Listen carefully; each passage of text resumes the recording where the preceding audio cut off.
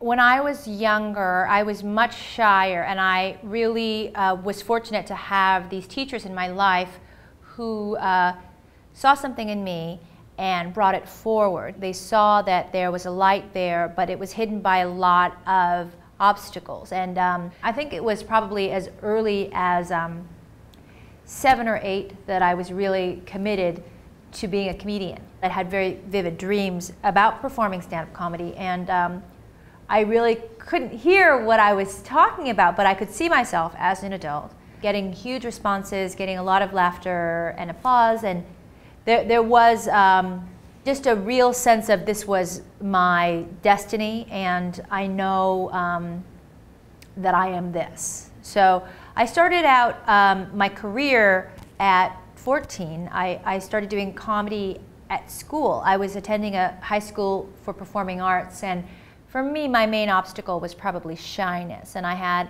an English teacher who would uh, pass a notebook between us, and it was very silent, and I would write it, and, and he would critique it in the margins. And it was, it was always very positive critiques and, and really beautiful encouragement. He was somebody that I trusted very much. He was a, a gay man who was um, rather flamboyant for my school, and, and even though it was San Francisco, it was still uh, you know, this was in the 80s, so it was still, um, it was tough for him, I think. And, and one day he didn't come to school, and um, it, it, was really alarming to me. And I, I, held the notebook, and he had written in the margins, um, You're such a good writer, just never stop writing. And never stop writing was in such big, bold red letters. Finally, I went to his, his class, and there was all these boys in the class, and they were laughing. And uh, I got closer to them, and one of them said, that faggot got killed. And um, it turns out that my teacher had been murdered by an act of homophobic violence. And it was so heartbreaking to me.